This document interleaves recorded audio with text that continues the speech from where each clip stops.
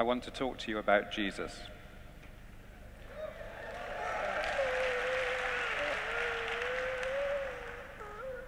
The 1992 novel, also a 1996 film, The English Patient, is set in Egypt during the Second World War. A married English woman, Catherine, finds herself often alone as her husband pursues a cartographical expedition. She falls in love with an impossibly exotic Hungarian nobleman, Laszlo. Count Laszlo, another cartographer, discovers a wondrous cave decorated with prehistoric paintings deep in the Sahara Desert. Laszlo and Catherine fall into a passionate affair. Catherine's husband, sensing the affair, plans a murderous revenge. He puts Catherine in the back seat of his biplane and flies towards Count Laszlo's excavation camp near the famous cave. He tries to land the plane right on Laszlo himself, but the plan catastrophically backfires. Laszlo, the intended target, sustains only minor injuries, but Catherine's badly hurt. We witness Laszlo carrying her slowly and lovingly to the prehistoric cave. Now, Laszlo and Catherine face an unspeakable predicament. Catherine's injuries are life threatening. If she's going to live, Laszlo's going to need to go and find medical help. But that means going to Cairo, and Cairo's three days' walk away. It's a dangerous journey. Even if Laszlo gets there unscathed, there may be no one he can persuade to bring help. And even if all these ifs meet happy whens, there's got to be only a small chance Catherine will still be alive when Laszlo gets back. What are they to do? What are they to do? I want you to think about this predicament as the defining question of our time. I'm suggesting that this story discloses the most important question we face. To explain this, I'm going to transport you from the hot sweaty conditions of this magnificent, luxurious holiday camp and take you to the intimacy and the privacy of Christmas Day. I'm going to conjure up for you three Christmas scenes that I'm guessing will be familiar to many, most, perhaps all people here. Here's the first. The first is your relationship with the most difficult member of your family. Now, of course, I know this is one big happy family, and there are no such thing as difficult relationships here. But let's imagine maybe you've got a friend who's got the most difficult member of their family. Okay, let's say it's your father. Christmas is coming up, but somehow you have no idea what to give your father. Deep down, it feels like your inability to know what present will please your father is symbolic of your lifelong confusion about, about what might truly make your father happy, especially where you're concerned. So, in the end, you spend more than you meant to on something you don't really believe he wants pathetically throwing money at the problem, but inwardly cursing yourself because you know that what you're buying isn't the answer.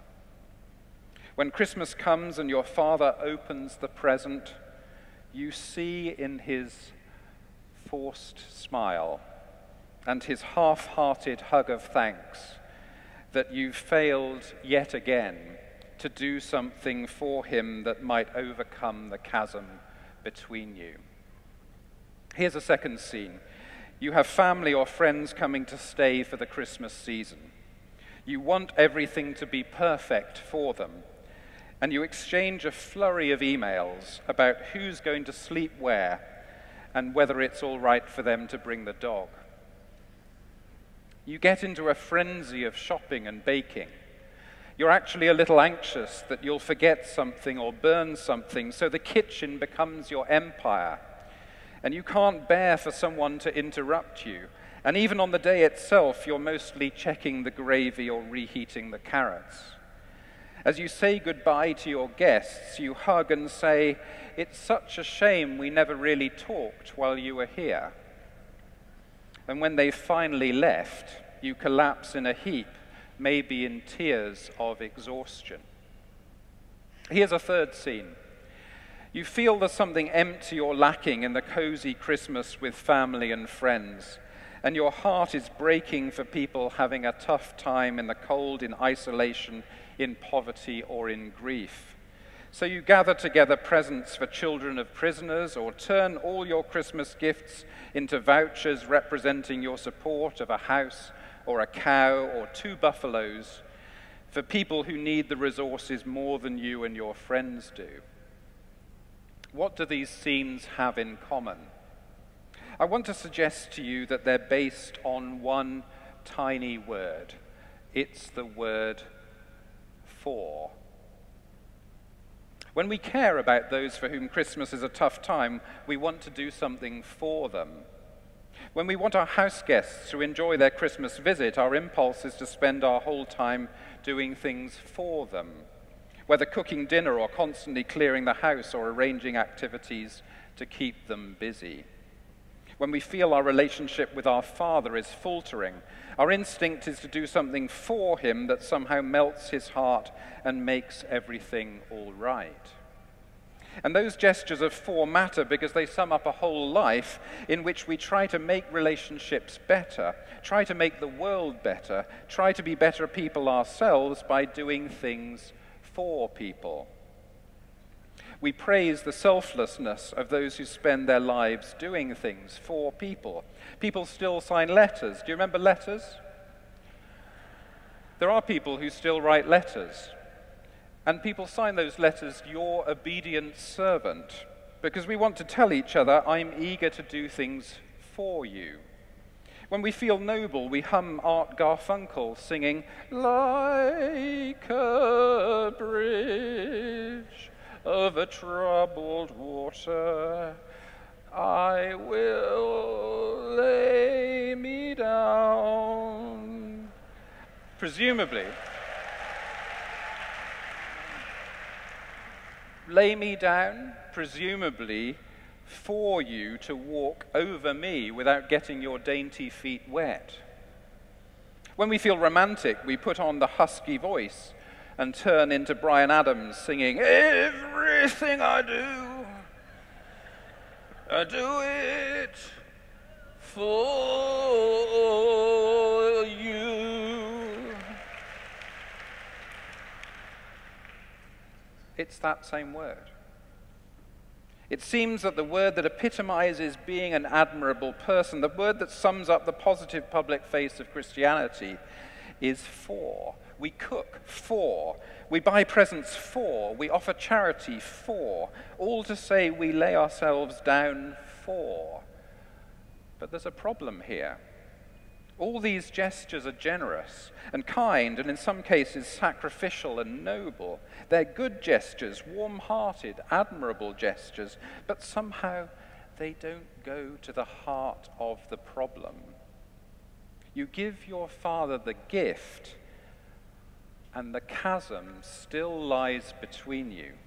You wear yourself out in showing hospitality, but you've never actually had the conversation with your loved ones. You make fine gestures of charity, but the poor are still strangers to you. For is a fine word, but it doesn't dismantle resentment. It doesn't overcome misunderstanding. It doesn't deal with alienation. It doesn't overcome isolation. Most of all, most of all, for isn't the way God relates to us. God doesn't simply set the world straight for us. God doesn't simply shower us with good things. God doesn't mount up blessings upon us and then get miserable and stroppy when we open them all up and fail to be sufficiently excited or surprised or grateful. For isn't the heart of God. In some ways, we wish it was. We'd love God to make everything happy and surround us with perfect things. When we get cross with God, it's easy to feel God isn't keeping the divine side of the bargain to do things for us now and forever. But God shows us something else. God speaks a rather different word. In Matthew's Gospel, the angel says to Joseph, Behold, the virgin shall conceive and bear a son and they shall name him Emmanuel, which means God is with us. In John's Gospel, we get a summary statement of what the Christian faith means. The Word became flesh and lived with us.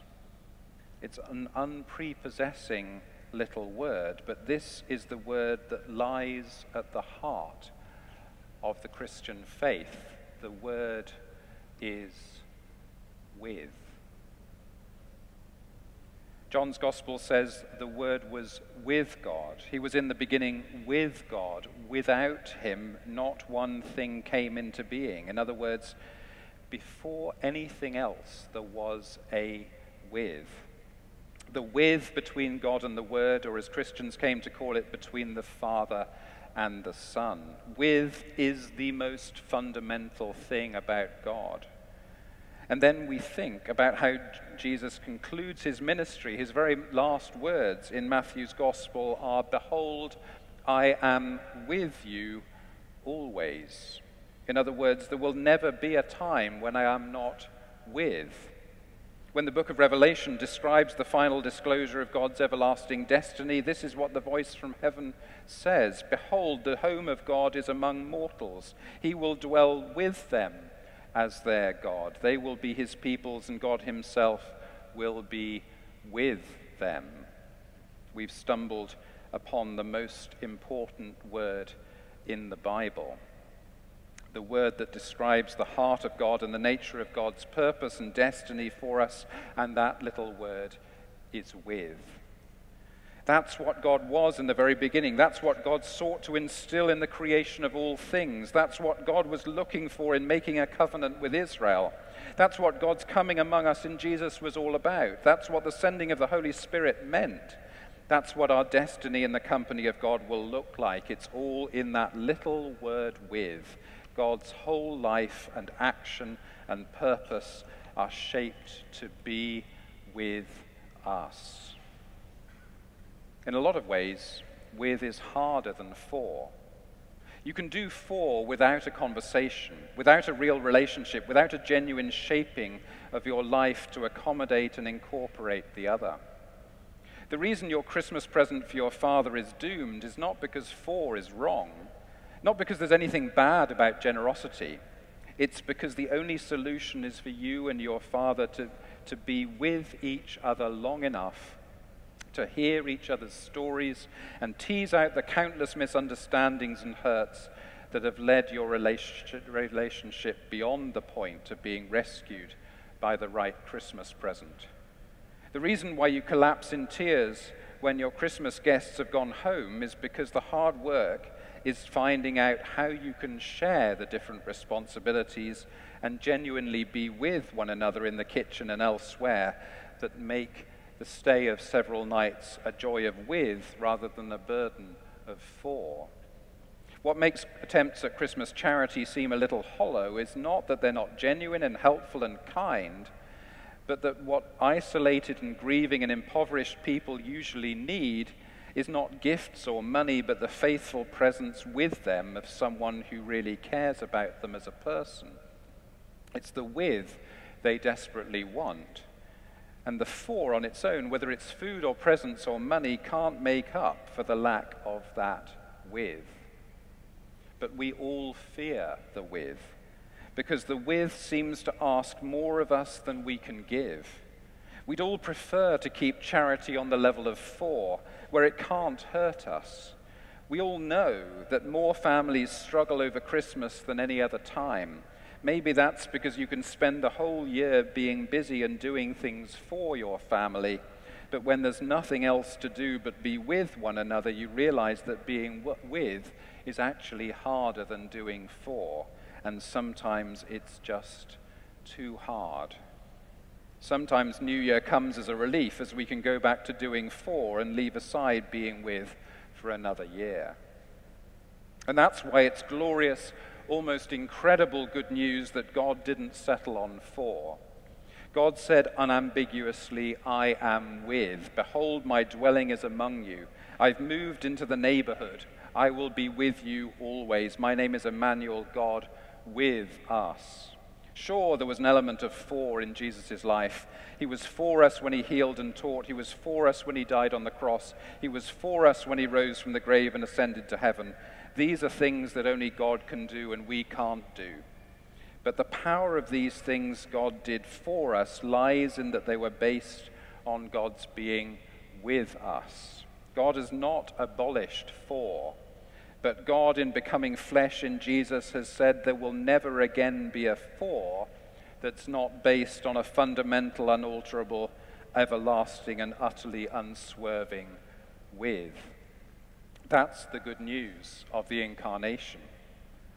And how do we celebrate this good news? By being with people in poverty and distress, even when there's nothing we can do for them by being with people in grief and sadness and loss, even when there's nothing to say, by being with and listening to and walking with those we find most difficult, rather than trying to fob them off with a gift or a face saving gesture, by being still with God in silent prayer, rather than rushing in our anxiety to do yet more things for God by taking an appraisal of all our relationships and asking ourselves, does my working for arise out of a fundamental commitment to be with, or is my working for driven by my profound desire to avoid the discomfort, the challenge, the patience, the loss of control involved in being with? No one could be more tempted to retreat into doing for than God. God, above all, knows how exasperating, ungrateful, thoughtless, and self destructive company we can be. Most of the time, we just want God to fix it and spare us the relationship. But that's not God's way. God could have done it all alone, but God chose not to. God chose to do it with us, even though it cost the cross. That's the amazing news of the word with. Let's think about the cross for a moment in the light of what we've seen about the word with. The cross is usually portrayed as the ultimate moment of for, the definitive thing only God could do, that God did do on our behalf. In fact, the cross is Jesus' ultimate demonstration of being with us. But in the cruelest irony of all time, it's the instant Jesus finds that neither we nor the Father are with him. Remember Jesus' agonizing words My God, my God, why have you forsaken me? Every aspect of being not with, of being without, clusters together at the foot of the cross. Jesus experiences the reality of human sin because sin is fundamentally living without God. Jesus experiences the depth of suffering because suffering is more than anything the condition of being without comfort. Jesus experiences the horror of death because death is the word we give to being without all things, without breath, without connectedness, without consciousness, without a body. Jesus experiences the biggest alienation of all, the state of being without the Father, and thus being not God, being for this moment without the with that is the essence of God. Jesus gives everything that he is for the cause of being with us, for the cause of embracing us within the essence of God's being. He's given so much, even despite our determination to be without him. And yet he's given beyond our imagination, because for the sake of our being with the Father, he has for this moment lost his own being with the Father. And the Father has longed so much to be with us that he has, for this moment, lost his being with the Son, which is the essence of his being. Here we are at the central moment in history. Jesus, the incarnate Son of God, has to choose between being with the Father or being with us. And he chooses us. At the same time, the Father has to choose between letting the Son be with us or keeping the Son to himself. And he chooses to let the Son be with us. Can you believe it? That is the choice on which our eternal destiny depends. That's the epicenter of the Christian faith and our very definition of love. Let's return to the English patient. Remember, we left Laszlo choosing whether to stay beside Catherine or walk to Cairo in search of assistance. What does he do? he scarcely thinks twice before he sets off on his three day journey to find help. He has all sorts of adventures before he finally makes it back to the encampment and the ancient cave. And when he does, Catherine is very, very, very dead. Laszlo's so committed to believing that there's a solution to Catherine's agonizing plight and that he has that solution, that he overlooks the only thing that matters, and that is being with Catherine. He's so concerned to solve the problem that he leaves her alone in her hour of greatest need. I wonder whether the real reason Laszlo went to Cairo was because he couldn't bear to watch Catherine die. I wonder whether we fill our lives with activity and creativity and productivity because we fear if we sat still, we'd go to pieces.